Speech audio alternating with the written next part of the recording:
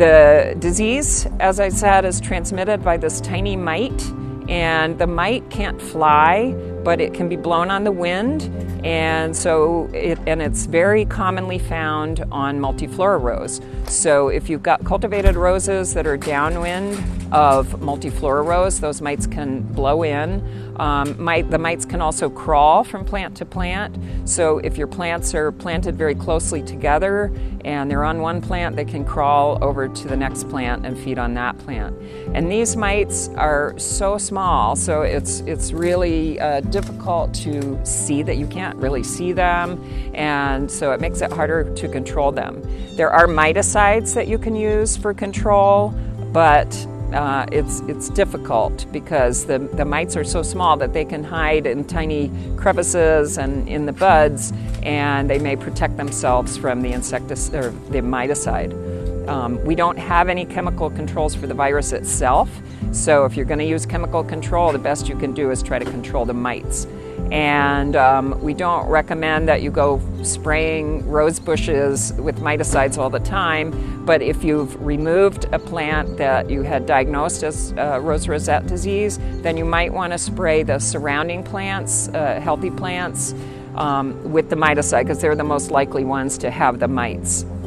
And one thing you need to realize about the mites is that these are not spider mites, which are the more common mites that people are familiar with. These are eriophyid mites, and they don't respond to the same miticides that spider mites do.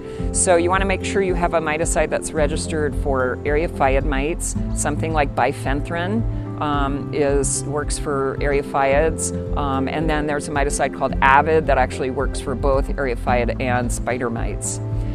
Some other things that you um, could do to try to prevent the disease from coming into your roses, make sure that if you've got any multiflora rose anywhere nearby that you try to get rid of it completely and don't plant your roses downwind of a known area where there's a lot of multiflora rose.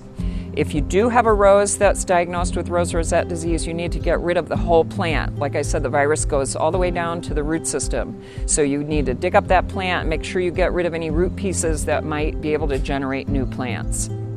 Um, and then don't leave that plant tissue laying around because the mites can crawl off of that onto something else. So you'll want to bag up all that plant material um, or burn it if you're allowed to in your area and uh, get rid of it.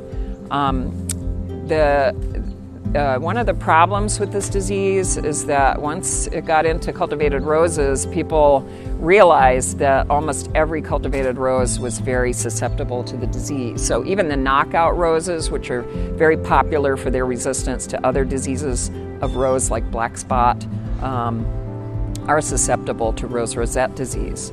So um, luckily, the importance of roses in our landscapes and the importance of the rose industry has made this a national problem. And so there's a national research effort going on to try to find ways to control this disease. And one of those ways is to breed for resistant roses. And we've already seen some success with that. There's a hybrid rose called Top Gun that is, uh, has good resistance to rose rosette disease. And hopefully there will be more coming out soon.